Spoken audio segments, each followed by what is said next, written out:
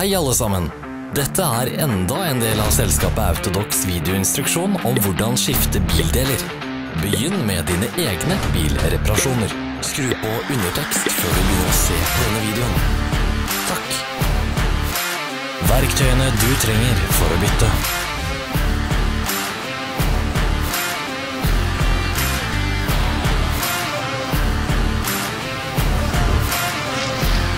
Ikke gå glipp av våre nye interessante videoer.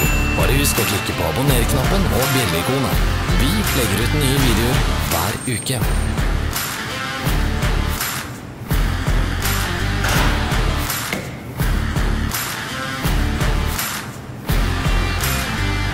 For mer informasjon, sjekk beskrivelsen under videoen.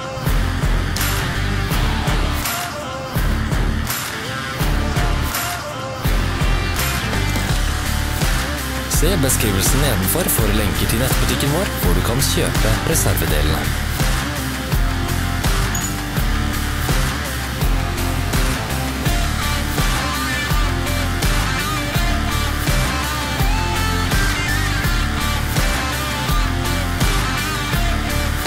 Hjelp oss å bli bedre.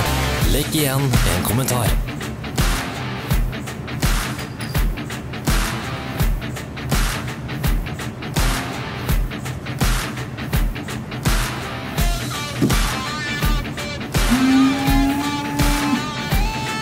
Takk for at du så gjennom instruksjonen vår.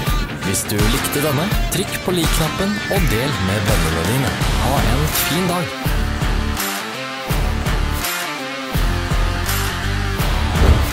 Følg oss på sosiale medier. Vi er på Instagram, Facebook og Twitter.